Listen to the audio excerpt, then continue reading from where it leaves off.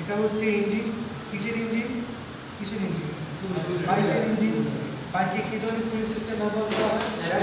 Air cooling system ব্যবহার করা হয়। এটাকে কি বলা হয়? এটাকে সিলিন্ডার ব্যবহার করা হয়। এই জায়গাটাকে কি বলে? ফিন্স ফিন্সের কাজ কি? সিলিন্ডার থেকে তাপটাকে ফিন্সে